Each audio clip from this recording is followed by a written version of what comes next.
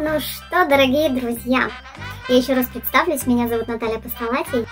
Мы всем вам желаем здоровья и с наступающей вас Пасхой. Мы очень надеемся с моим другом, что вам будет несложно выполнить э, это задание под четким руководством ваших родителей.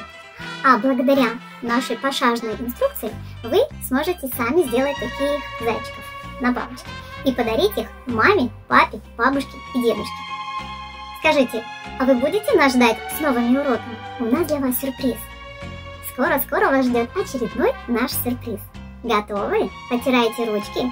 Мы ждем с нетерпением ваших зайчиков. Мы всем вам желаем здоровья и с наступающей вас Пасхой. С наступающей вас Пасхой. С наступающей вас Пасхой.